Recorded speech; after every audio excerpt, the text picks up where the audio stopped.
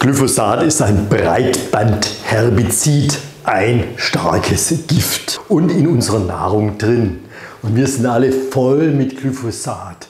Und was macht denn das mit uns? Das erzähle ich euch heute mal und auch, wie ihr euch schützen könnt vor diesem Gift. Mein Name ist Karl und ich bin Arzt niedergelassen in eigener Praxis seit 2006. Und warum ich eine Mütze aufhabe, das erzähle ich euch zum Schluss bitte. Nicht, weil es in ist, wie manche in die Kommentare schreiben, sondern aus einem anderen Grund. Vor ein paar Monaten hat man entschieden in der EU, dass Glyphosat für weitere zehn Jahre versprüht werden darf in der gesamten EU. Und das halte ich für eine Katastrophe, weil es gibt genügend Studien, die beweisen, dass Glyphosat ein starkes Gift ist. Glyphosat wurde 1970 oder in den 1970er Jahren von der Firma Monsanto entwickelt und ist heute unter verschiedenen Markennamen erhältlich. Und Glyphosat ist eines der am häufigsten verwendeten Herbizide weltweit. Was ist ein Herbizid? Das wirkt gegen Unkraut und gegen Pflanzen. Der Überbegriff wäre Pestizide.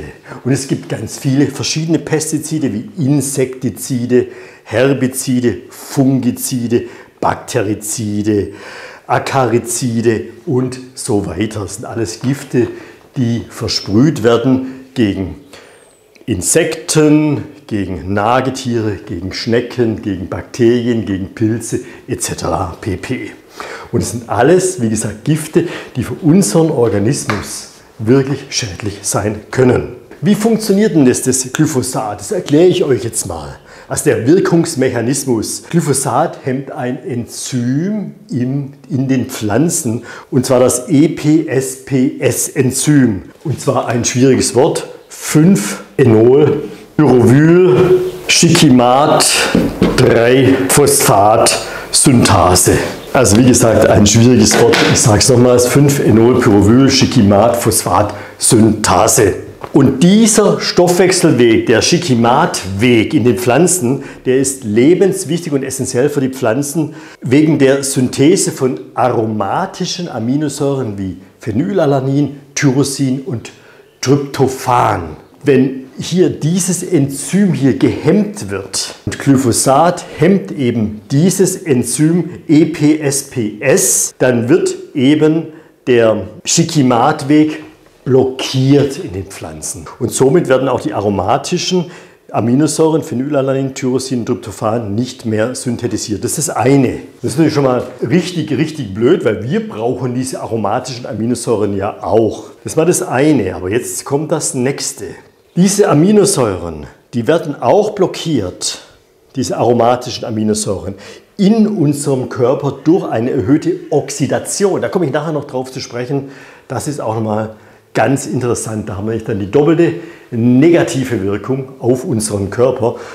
Und das führt dann wirklich mal in Krankheiten hinein. Der Mangel an diesen aromatischen Aminosäuren in den Pflanzen führt zum Tod letzten Endes dieser Pflanzen. Dann noch was weiteres. Glyphosat besitzt auch mehrere funktionelle Gruppen, darunter auch Carboxyl- und Aminogruppen, die in der Lage sind, Metallionen zu binden, also zu gelatieren. Und es gibt dann einen Schlattkomplex. Und wenn Glyphosat in die Umwelt gelangt, kann es mit Metallionen wie zum Beispiel mit Mangan Komplexe bilden. Sprich, Glyphosat bindet auch noch Mangan. Und Mangan ist ein ganz, ganz wichtiges, Spurenelement für uns, für unseren menschlichen Körper. Komme ich nachher noch drauf zu sprechen. Wo wird denn Glyphosat angewandt? Natürlich in der Landwirtschaft. Also Glyphosat wird zum Beispiel direkt auf die Blätter von Unkrautpflanzen versprüht, dass er auch wirkt, dass das Glyphosat auch wirklich nur auf das Unkraut wirkt. Sonst wirkt es ja auch auf die anderen Pflanzen. Nach der Aufnahme wird es systemisch durch die Pflanze transportiert, wobei es zu den Wurzeln und Wachstumszonen dann der Pflanzen gelangt. Dann gibt es auch noch eine systemische Wirkung. Eben der systemischen Eigenschaften von Glyphosat kann dieses auch mehrjährige Unkräuter systemisch effektiv bekämpfen, indem es die gesamte Pflanze einschließlich der Wurzeln eben abtötet. Vorteile, die Breitbandwirkung eben. Glyphosat ist wirksam gegen eine breite Palette von Unkräutern, einschließlich Gräsern und breitblättriger Pflanzen, so steht es in der Literatur geschrieben. Abbau in der Umwelt. Es steht geschrieben, dass Glyphosat relativ schnell im Boden abgebaut wird und keine langfristigen Rückstände hinterlässt. Allerdings, die Kontroversen und Sicherheitsbedenken wären folgende. Die Umweltauswirkungen, die Biodiversität. Es gibt Bedenken, dass der weite verbreitete Einsatz von Glyphosat die Biodiversität beeinträchtigt und nicht zielgerichtete Pflanzen sowie Mikroorganismen im Boden auch noch schädigen können. Ganz klar, das verbreitet sich dann und geht nicht nur auf die Unkräuter und die Unkrautpflanzen, sondern auf andere Pflanzen, auf Nutzpflanzen, Zierpflanzen etc. über und schädigt diese auch noch und natürlich auch weitere Mikroorganismen, die für unser ökologisches Gleichgewicht extrem wichtig sind. Resistenzbildung, ein weiterer Punkt für die Entwicklung von glyphosatresistenten Unkräutern, die durch übermäßige und wiederholte Anwendung des Herbizids entstehen können. Wie bei einer, Antibiotikaresistenz von Bakterien kann es auch beim Glyphosat passieren. Die Unkräuter passen sich an, die werden resistent und wachsen dann trotzdem und das Glyphosat wirkt dann nicht mehr. Dann wird noch mehr Glyphosat versprüht und dann wirkt es irgendwann gar nicht mehr. Jetzt kommen wir mal zu den gesundheitlichen Risiken. Das Krebsrisiko in unserem menschlichen Körper steigt. Die internationale Agentur für Krebsforschung, die IARC, das ist eine Agentur der WHO, hat Glyphosat 2015 schon als wahrscheinlich krebserregend für den Menschen Kategorie 2a eingestuft. Unter anderem für Non-Hodgkin-Lymphome. Da gibt es ausreichende Beweise für krebserregende Wirkungen, jedenfalls bei Versuchstieren. Und trotzdem darf es weiter in Unmengen verwendet werden. So, zwischenrein erzähle ich euch kurz mal, warum ich eine Mütze trage. Ganz simpel weil ich gerade meine Haare mal wachsen lasse, seit einem halben Jahr ungefähr schon. Und manchmal kriege ich die gar nicht mehr so richtig hin. Da muss ich da immer so ein bisschen Gel oder Pomade oder ähnliches rein tun, dass die in Form sind. Oder ich setze ganz einfach eine ganz dünne Mütze auf. Hm? So mache ich das. Von meinen Patienten in der Praxis mache ich das nicht, eine Mütze aufsetzen. Aber hier für ein YouTube-Video finde ich das okay, weil ich bin ja auch jetzt kein Arzt, der mit dem weißen Kittel in der Praxis rumläuft. Dann, so, dann erläutere ich euch mal, was ihr machen könnt, um Glyphosat entgegenzuwirken. Glycin ist eine Aminosäure, die man auch einnehmen kann. Und Glycin hat eine ähnliche Struktur wie Glyphosat. Und wenn Glycin eingenommen wird, verdrängt Glycin das Glyphosat. Da gibt es auch Studien, habe ich euch unten mal verlinkt.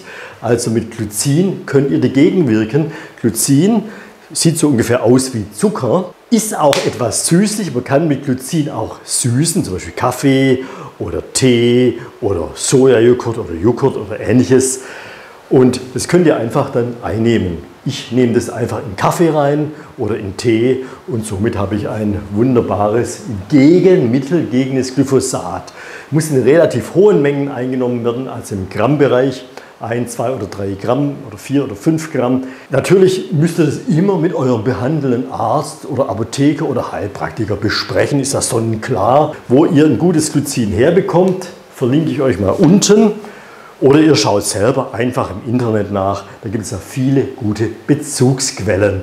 Wie gesagt, das ist einfach, sieht aus wie Zucker und kann man dann rauslöffeln. Das ist so eine Art Pulver. So, was macht aber Glyphosat auch noch. Glyphosat bindet Mangan.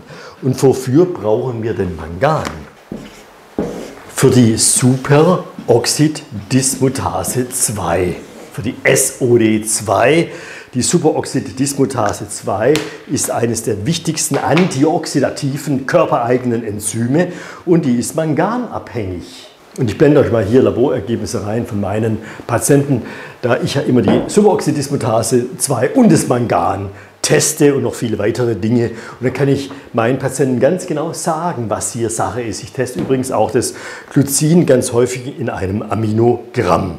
Jetzt erkläre ich euch mal, warum das so gefährlich ist. Die Zusammenhänge. Wir haben hier eine Zelle und hier haben wir ein Blutgefäß. Sauerstoff geht in die Zellen rein, Kohlenhydrate, Fette und Proteine gehen in die Zellen rein, Aminosäuren. Hier haben wir die Mitochondrien. Was machen die Mitochondrien? Die geben uns durch Kohlenhydrate, Sauerstoff, Fettsäuren und so weiter Energie. Ein Glühbirnchen hier, viel Energie, ATP.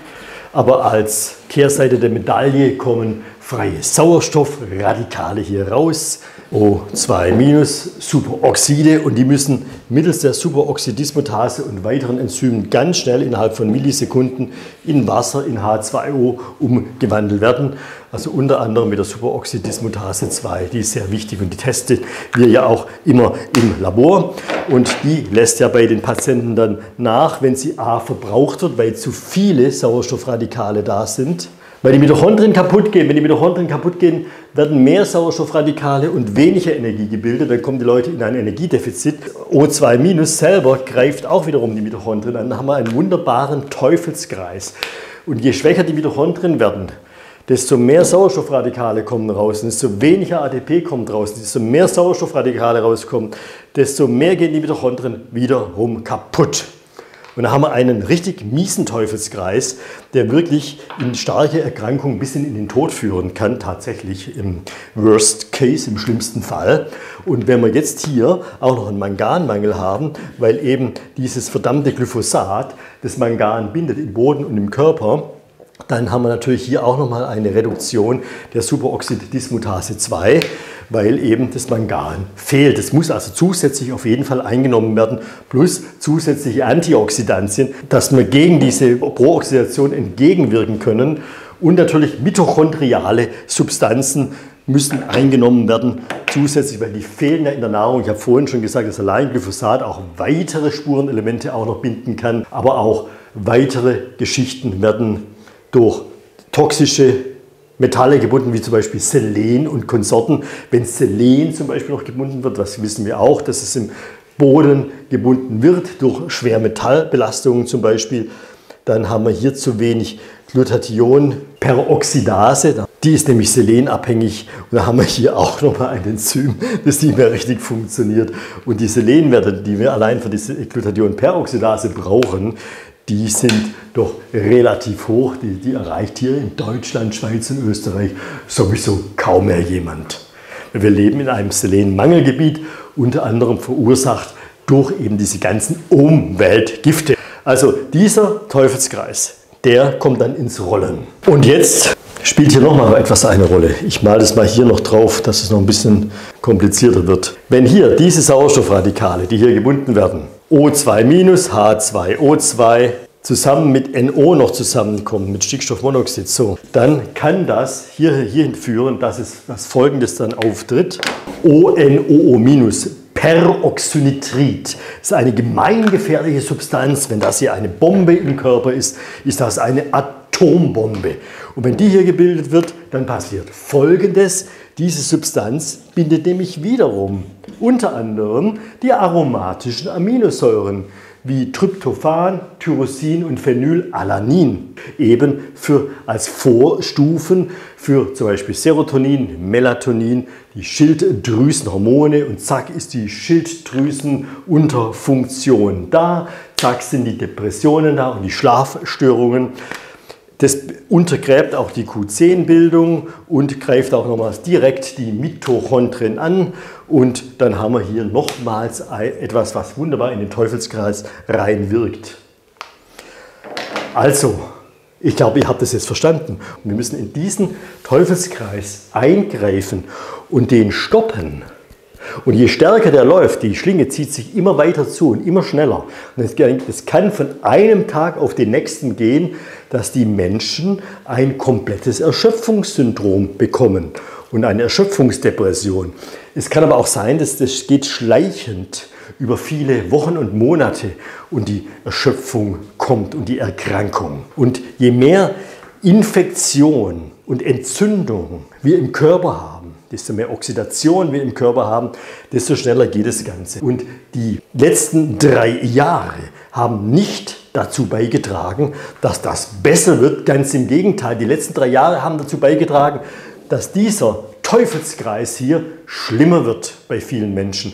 Und das habt ihr sicherlich auch schon gesehen. Nicht nur im gesamten Körper, sondern auch im Nervensystem und im Gehirn.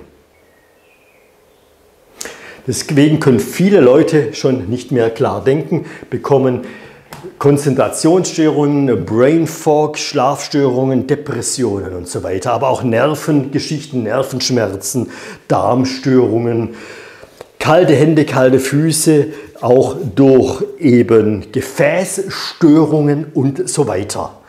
Ist euch das ist klar? Und dann kommt zusätzlich noch so ein Gift ins Spiel wie das Glyphosat. Und ich sage es nochmals, wir sind alle bis oben hin voll damit. Und die 5G-Belastung zum Beispiel, die ja auch für eine Prooxidation wieder im Körper sorgt. Ja, und was passiert? Die Leute fallen um. Die Regulation funktioniert nicht mehr. Die kommen aus ihrer Regulation heraus und wer nicht mehr regulieren kann, der kann nicht mehr gesund werden. Die Zellen schalten ab, die Mitochondrien schalten ab. Und das ist nicht gut. Und man nennt das auch Regulationsmedizin. Einer der ältesten deutschen Ärzteverbände heißt Ärzteverband für Regulationsmedizin. Macht euch darüber mal Gedanken. Ihr könnt die ganzen mitochondrialen Substanzen einnehmen. Ihr solltet Kombipräparate mit Mangan einnehmen, wo Mangan auch drin ist. Und ihr könnt auch mit Glycin etwas entgegenwirken gegen das Glyphosat. Schützen können wir uns davor leider überhaupt nicht mehr. Wie gesagt, Glyphosat wird auch in Parks, in öffentlichen Grünflächen versprüht, an Eisenbahnlinien, an Straßen, Nehmt euch das mal zu Herzen. Wie gesagt, ich habe euch unten noch ein paar Infos verlinkt, auch wo ihr ein gutes, gutes Glyphosat und Mangan herbekommt oder schaut einfach selbst danach. Und ich sage mal, bitte bleibt gesund, macht was für eure Gesundheit, nehmt es ernst, was ich hier sage und möchte den Menschen auch hierdurch durch YouTube helfen. Und schreibt gerne in die Kommentare, wenn ihr noch was weiteres wisst oder was euch noch einfällt, viele Menschen beschäftigen sich schon lange mit diesen Themen und wissen hier auch sehr gut Bescheid. Und ich möchte euch bitten, euch hier auch einzubringen. Das würde mich sehr freuen. Bis zum nächsten Mal. Vielen Dank.